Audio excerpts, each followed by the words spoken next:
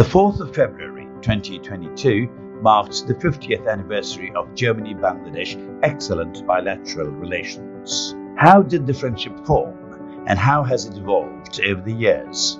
Let's get into the glorious history of Germany Bangladesh friendship.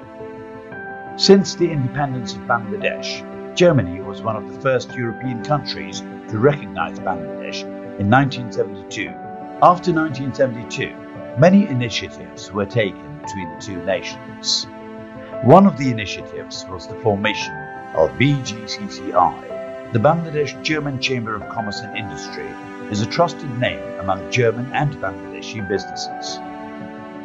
Since 2003, BGCCI has been working as a catalyst of accelerating economic growth for both the partner countries.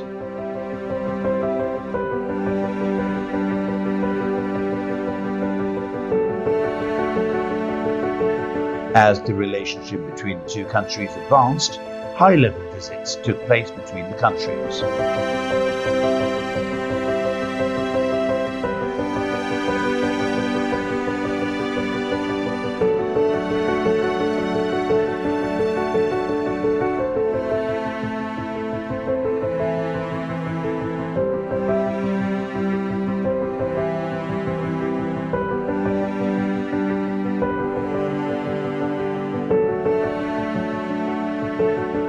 Veridos from Germany has been appointed to introduce e-passports in Bangladesh.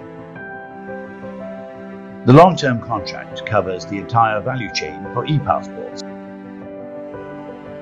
More than 65 German companies and brands are currently present in Bangladesh, and many more are approaching BGCCI in the coming years. Picard Bangladesh Limited, a joint venture with Germany, is the largest leather goods manufacturing unit in Southeast Asia, known internationally for its outstanding quality and service. Solshare, a German joint venture based in Dhaka, has created a revolutionary new approach to bring affordable solar electricity to everyone in Bangladesh and beyond. Bangladesh is working on a chancery building project in Germany in the centenary year of the nation's Bangabandhu Sheikh Mujibur Rahman, the German president conveyed a special message. After the Rohingya refugee crisis in 2011, Germany supported Bangladesh diplomatically and financially to maintain the refugee camps. Germany is still campaigning for a safe return of the Rohingya to Myanmar. Not only that, during the COVID-19 pandemic, Germany donated 8 million doses of AstraZeneca vaccine to Bangladesh.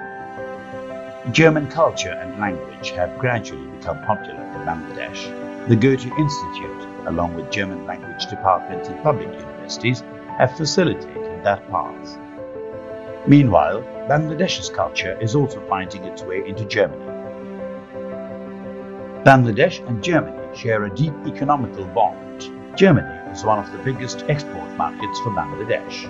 Every year, a huge amount of ready-made garments, leather products and pharmacy products are exported to Germany, while other products are imported from Germany. Through DAAD services, Germany has announced many scholarships for aspiring Bangladeshi students. Currently, more than 3,000 Bangladeshi students are studying in Germany.